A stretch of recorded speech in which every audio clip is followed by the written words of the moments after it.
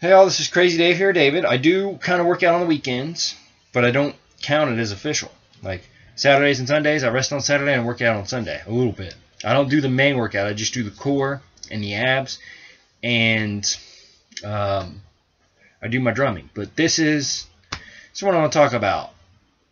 Get, getting in shape and staying in shape as a drummer, I think, is vitally important, especially if you're touring a lot. I haven't, I've never toured extensively.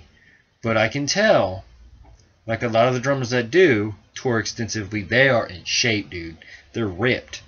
And I don't think it has to do anything with the physical demands of drumming if, if you're really good, you know. So, but I think it has to do with just going back and forth from place to place to place to make sure your body's in peak physical condition. No pun intended. Um, so, you know, your body's in peak physical condition, like I said, so that you can be ready night after night after night. You know, about 30 days on, your body starts, or about a couple months on, your body starts to wear down a little bit. So I guess that's why you, know, you need to go, need to be in shape as a drummer. So when you when you're touring, you know.